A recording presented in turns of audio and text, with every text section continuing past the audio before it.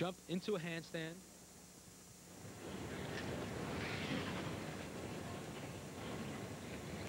Trying to keep your body square, facing the beam.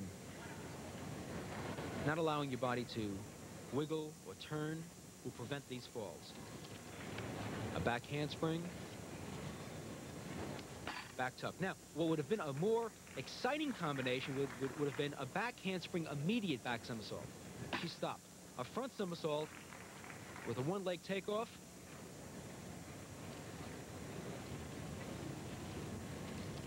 For those of us that can't even do a somersault, John, to do it on a four-inch uh, wide beam is, to me, is really something.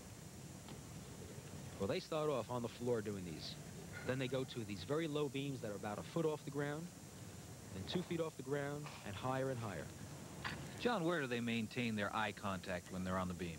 Well, throughout the entire routine, they are constantly trying to focus their eyes either on the end of the beam or at the side. They have a whole, the whole routine is geared to focus their, their eyes, like she just did on the side, to make sure that it's choreographed. Even head movements, hand movements, everything's choreographed, including where they're going to focus. Now, she's focusing down at the beam, where she's going to punch her feet before the dismount.